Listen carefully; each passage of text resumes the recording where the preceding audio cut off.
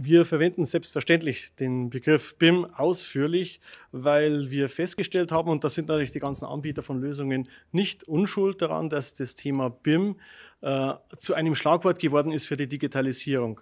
BIM allein als Begriff stellt natürlich einen kleinen Aspekt nur dar von der Digitalisierung, aber wir äh, sehen es als unsere Pflicht an, den Markt hier nicht zu verunsichern, sondern den Markt dort, wo wir ihn jetzt abgeholt haben, in die Zukunft mitzunehmen. Jeder, der BIM macht, digitalisiert. Das ist unser Steckenpferd. Ähm, wo wir sehr viel Arbeit sehen in der Zukunft auch und auch Überzeugungsarbeit, wie man mit Cloud-Lösungen vernünftig äh, umgehen kann, wie man verschiedene Plattformen miteinander kombinieren kann, weil jeder große Anbieter hat mittlerweile seine eigene Plattform im Portfolio. Und hier ist es unsere Intention, diese Plattformen miteinander zu verbinden, auch mit unseren Marktbegleitern im engen Kontakt diese Lösungen zu arbeiten, sodass unsere Kunden, die damit arbeiten müssen, aus einem reichhaltigen Portfolio für ihre Arbeitsdisziplin die beste Lösung wählen können. Digitalisierung ohne Vernetzung wird nicht funktionieren. Das heißt, es ist ein wesentlicher Aspekt, äh, dass man vernetzt arbeitet.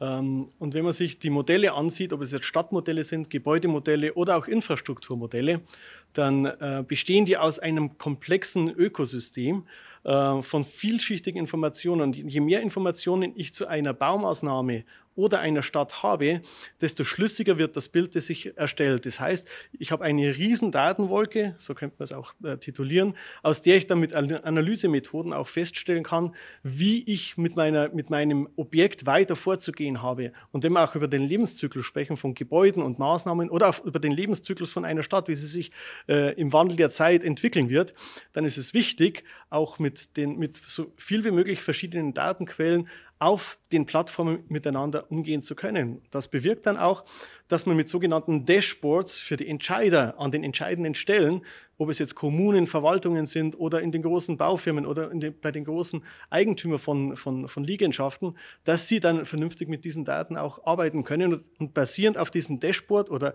Clash-Ergebnissen Entscheidungen für die Zukunft oder für die weitere Vorgehensweise in die Maßnahmen treffen können. Ja, da gebrauche ich gerne, gerne den, äh, den Ausdruck, was, wann, wo, warum. Ja, also ähm, die Vermesser und die Geodäten sind eigentlich der Ursprung von Datenerfassung. Man muss immer wissen, was sich wo befindet. Ja, und von dem her baut sich eigentlich der komplette Prozess auf.